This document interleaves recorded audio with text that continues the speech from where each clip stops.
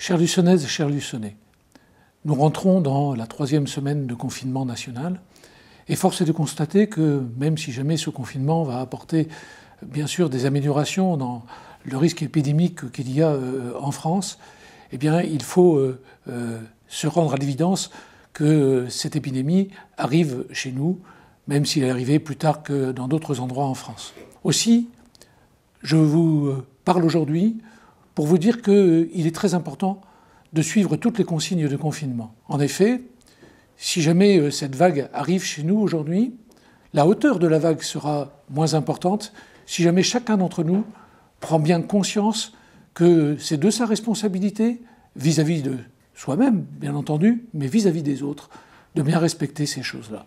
Parce que si jamais vous êtes euh, par hasard en contact avec quelqu'un euh, qui est porteur du Covid-19, même si jamais il n'est pas encore malade, eh bien, euh, il peut vous le transmettre. Et euh, si lui ne développe pas la maladie, vous, vous pouvez la, développer. Ou pire, c'est même euh, le transmettre à vos proches sans que vous-même vous soyez malade. C'est donc de notre responsabilité à chacun de bien respecter toutes ces consignes. Et ces consignes, vous le savez, c'est d'abord de rester chez soi. Rester chez soi, et puis sortir le, moins possible, bien sûr.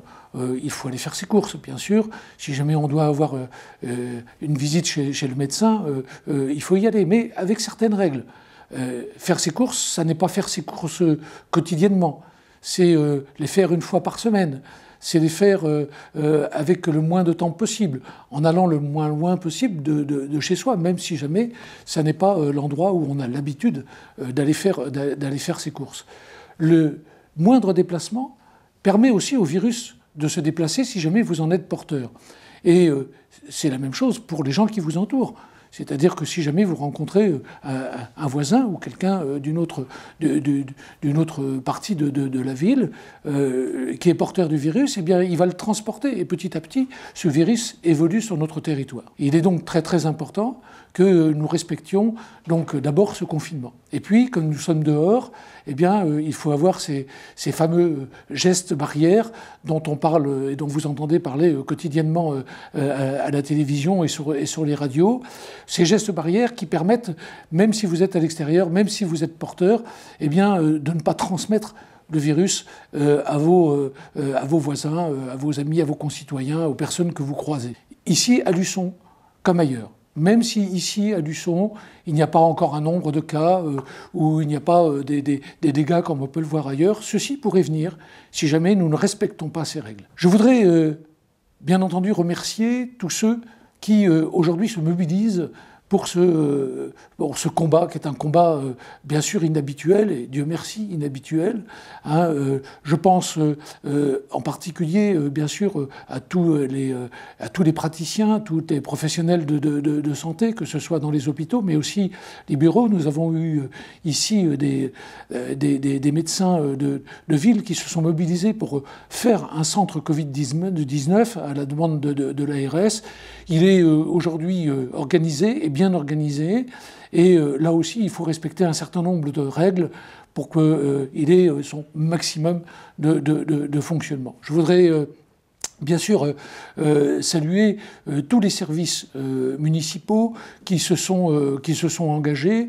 Je voudrais aussi euh, saluer l'action des, élus, euh, que ce soit euh, celui qui sera à ma place dans quelques jours, donc Dominique Bonin, et qui vous expliquera un petit peu ce qui est fait sur, la ville, mais aussi Madame Thibault avec le, CCAS, et bien d'autres encore qui aujourd'hui font tout leur possible pour que ben, cette période de confinement soit des périodes qui soient à la fois, bien sûr, euh, des périodes où euh, l'angoisse ne monte pas euh, autant qu'on pourrait, qu'on pourrait le craindre, car la panique est aussi un facteur aggravant, donc non seulement de la maladie, mais éventuellement aussi de la contamination, puisque dans la panique, on peut avoir des, actes, des gestes qui ne sont pas les gestes qui sont appropriés.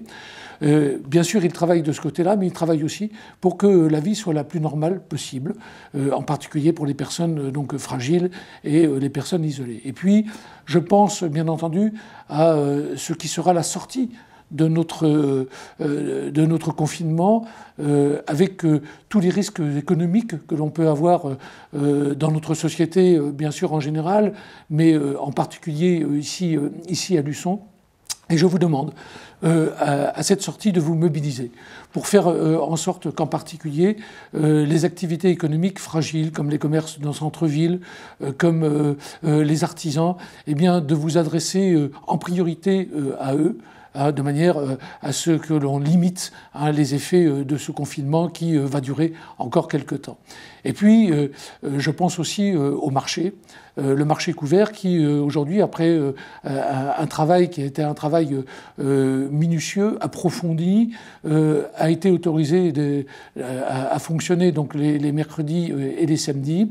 Mais ce fonctionnement est bien sûr sous la euh, sous la responsabilité de, chacun, car si jamais on ne respecte pas les règles qui sont euh, imposées, comme par exemple la marche en avant, c'est-à-dire suivre les flèches et aller toujours dans le même sens de manière à, ce que les gens ne se croisent pas, si jamais on n'est pas à un mètre l'un de l'autre, si jamais eh bien, on a tendance à toucher les fruits et légumes, même si jamais euh, on devrait demain avoir des films qui ne l'autorisent pas, eh bien, en cas de contrôle, on pourrait fermer ce marché. Ça aurait un, double impact, un impact vis vis-à-vis bien sûr des consommateurs, mais surtout un impact économique vis-à-vis des gens qui, y travaillent. Et je vous demande avec euh, euh, insistance hein, de, bien suivre donc tous ces règlements. Mes chers Luçonnais, mes chères Luçonnaises, euh, nous passons une période qui est une période bien sûr qui est tout à fait inhabituelle. Et je souhaite que c'est peut-être la seule période que nous vivrons comme ça dans, notre existence, mais je crois que c'est ensemble, parce que euh, nous euh, suivrons les règles, parce que nous irons dans un champ commun, et eh bien que nous en sortirons avec euh, le moins de dégâts possible, et, surtout que demain, eh bien, Luçon soit cette ville vivante que l'on a, connue, avec tout son entrain, toute, toute sa beauté, toute sa joie, et ça, ça dépend de chacun d'entre nous.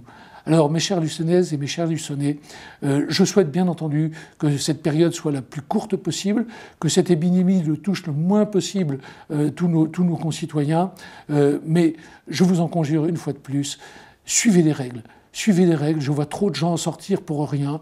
Je vois trop de gens qui ne respectent pas ces règles-là. et je vous demande de les respecter parce que c'est notre engagement de chacun, c'est notre devoir de chacun, et c'est surtout notre responsabilité pour nous-mêmes et pour les autres. Je vous remercie.